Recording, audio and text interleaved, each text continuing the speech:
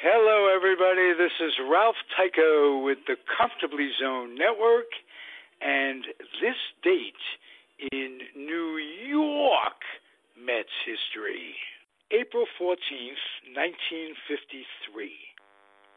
Mark Bomback is born. And in 1967 on this date, Jerry Koosman makes his major league debut and two thirds innings of no hit relief in Jack Fisher's 5 1 loss to the Phillies. The proceeding has been a comfortably zoned network production.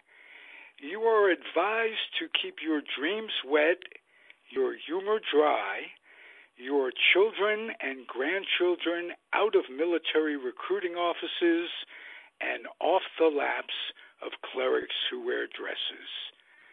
Thank you for listening, everyone. Happy trails.